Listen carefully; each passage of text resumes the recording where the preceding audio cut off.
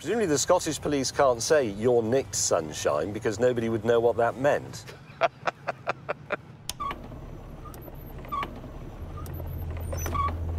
Not good. The news is not good. We then decided to head for the city centre. To see how our cars would cope with these steep and narrow cobbled streets.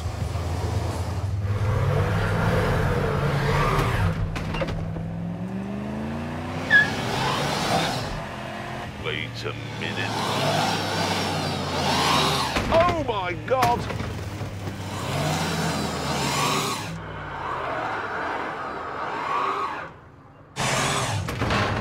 This cannot be done.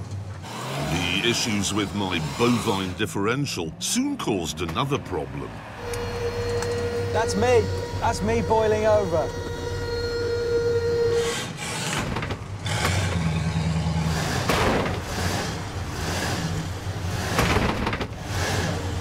I am boiling over. Crikey, it's like John in Mongolia.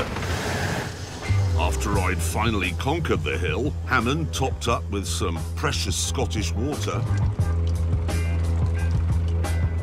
And wondering how Frank Cannon ever solved anything, we resumed our journey through the city centre.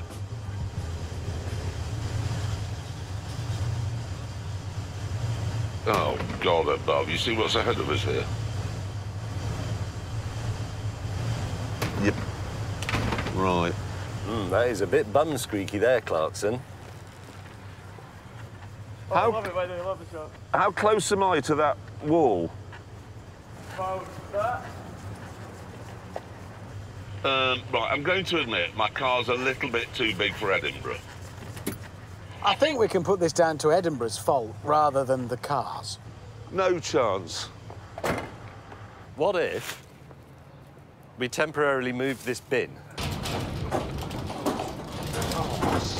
Ah, So if I back up now, If you back up now, you can swing around, you can just... mine's boiling. oh, sh- it Oh, dear, oh, dear. Oh no. It's singing the song of death. Oh. Oh.